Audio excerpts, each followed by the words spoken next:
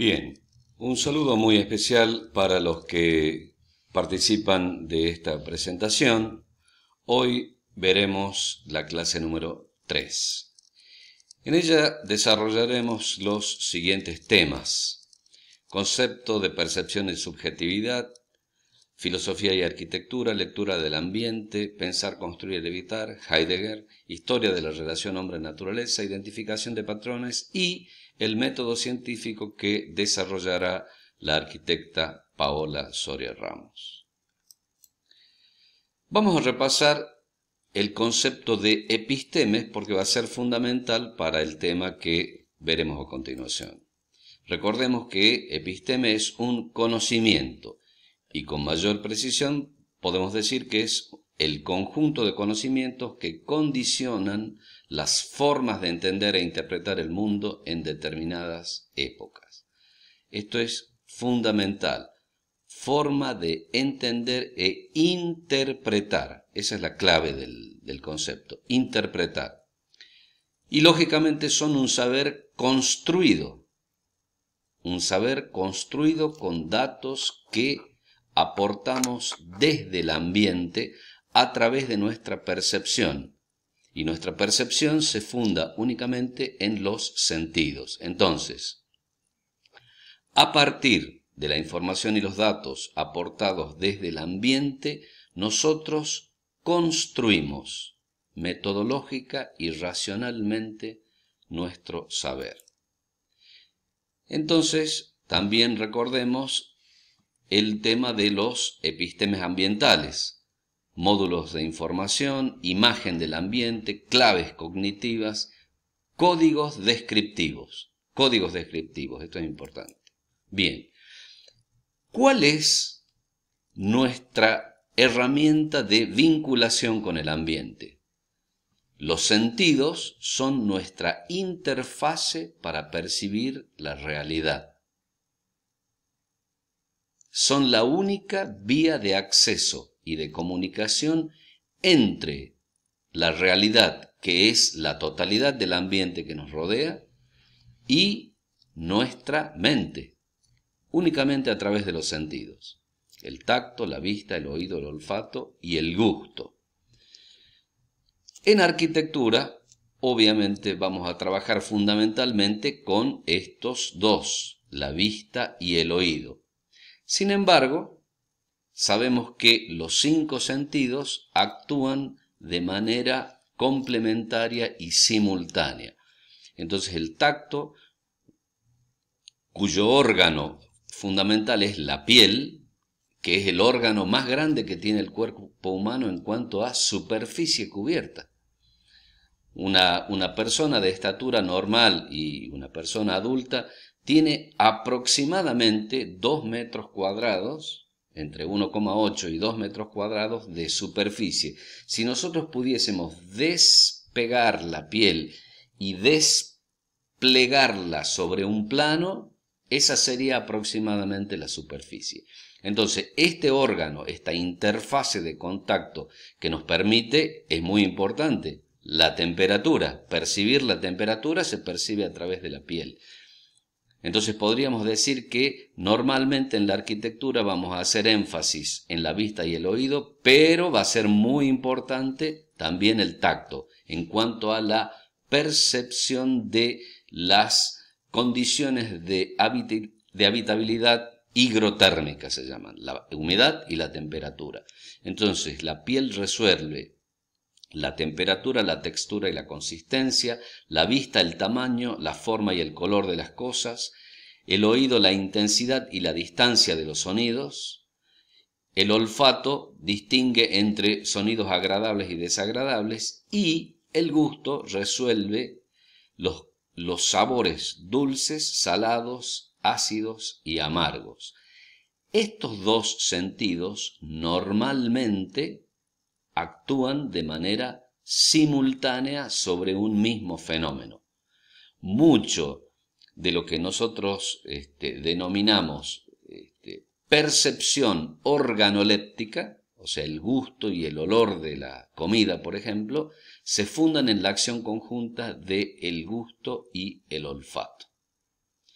hay un experimento muy interesante, si ustedes lo quieren desarrollar, que es probar algún alimento y luego taparse la nariz con un broche de la ropa y repetir la operación para ver cómo se va restringiendo la información organoléptica que estamos recibiendo. ¿Por qué? Porque nos falta uno de los sentidos, uno de los dos sentidos en este caso particular.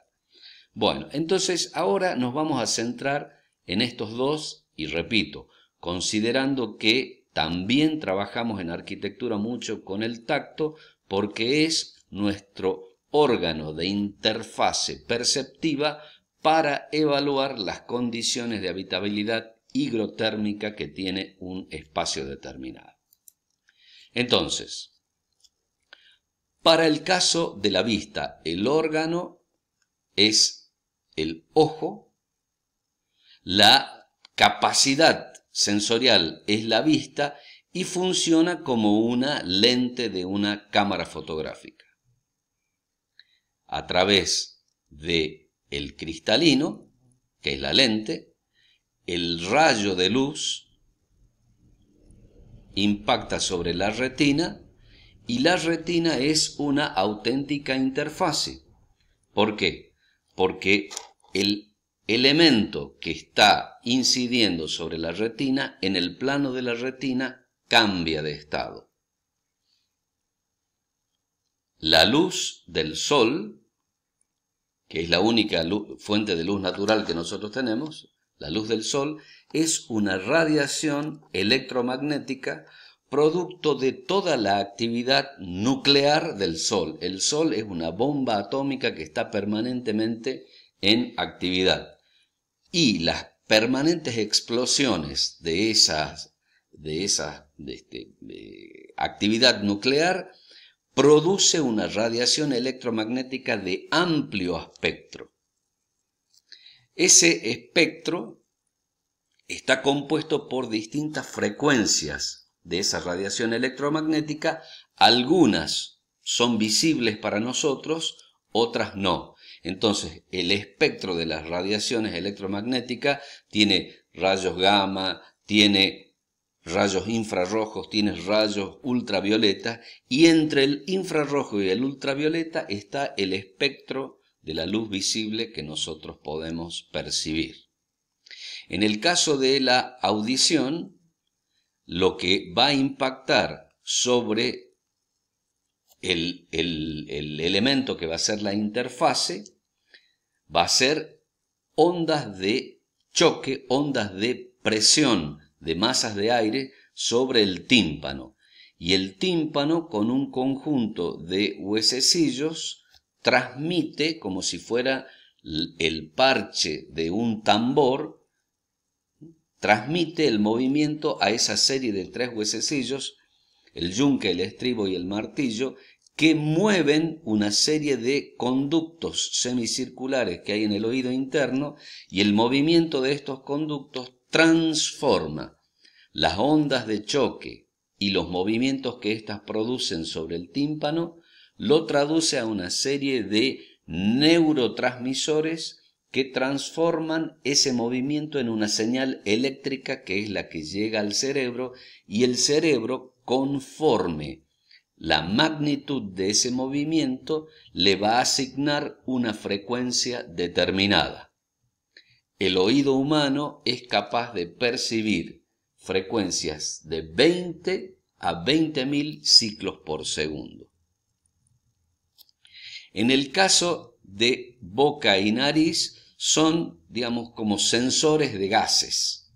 Y en el caso de la piel tenemos los sensores térmicos y de presión sobre la piel que son los que nos dan la información que se transforma también en un estímulo eléctrico. O sea, al cerebro, a través de las interfaces que son los sentidos, solo llega información eléctrica. Al cerebro solo llega información eléctrica. Llega información eléctrica de la retina que ha transformado el estímulo fotosensible en una señal eléctrica. En el oído interno que ha transformado la onda de presión y movimiento del tímpano en una señal eléctrica. Los sensores de gases que tenemos en la, la nariz lo ha transformado en información eléctrica. Y los sensores térmicos y de presión que tenemos en la piel han transformado esa acción mecánica y física en información eléctrica. Con respecto a la luz, con respecto a la visión, acá tenemos una famosísima frase de un arquitecto francés llamado Le Corbusier. Nació en 1887, falleció en 1965. ¿Qué decía Le Corbusier a propósito de la arquitectura, de la cual fue un gran maestro? Decía, la arquitectura es el juego sabio de los volúmenes bajo la luz. De los volúmenes bajo la luz.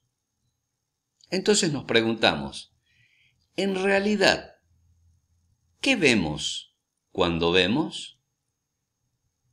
Decíamos que nuestra fuente de luz natural es el sol y el fenómeno que produce la iluminación es la radiación solar.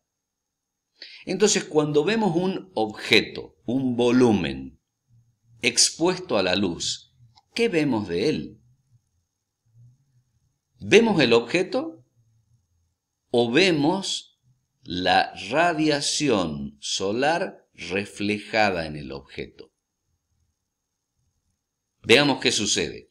Cuando la radiación solar y la luz natural inciden sobre el objeto con su amplia gama de frecuencias, de longitudes de onda, el objeto absorbe la mayor cantidad de ellas y refleja una pequeña parte.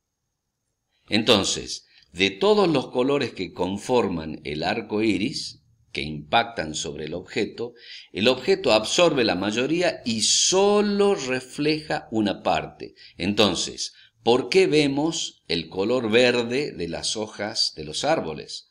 Porque absorbieron la mayor cantidad de el amplio espectro de los colores del arco iris, que son nuestra gama de luz visible, y reflejaron solo el verde. Entonces, ¿qué vemos cuando vemos? Lo que vemos es el reflejo de la radiación solar sobre los volúmenes, sobre los objetos, porque ese reflejo es el que a través del cristalino llega a la retina, la retina lo transforma en un fenómeno eléctrico, en un impulso eléctrico, y esta señal eléctrica, a través del nervio óptico, se dirige al centro de interpretación que es el centro de la visión que tenemos en el cerebro. Y el cerebro, conforme nuestra experiencia, decodifica esa señal eléctrica y le asigna un valor. Lógicamente esto es una simplificación del proceso porque el proceso es muy complejo, porque en el plano de la retina hay diversos tipos de sensores, por lo menos dos. Por la forma que tienen al microscopio se los podría clasificar en conos y bastones, conos y bastoncitos. Cada uno de ellos dos decodifica información distinta. Uno el volumen y la forma, y el otro los detalles y el color. Y esta información conjunta va al cerebro y el cerebro decodifica qué corresponde a cada una de las dos señales. Será un verde de distinta intensidad, como el paisaje de Catamarca, los mil distintos tonos de verde, y será una forma determinada los mil distintos tonos de verde y un camino largo que baja y se pierde. ¿eh? Entonces, el cerebro ha decodificado del paisaje la información necesaria para caracterizarlo.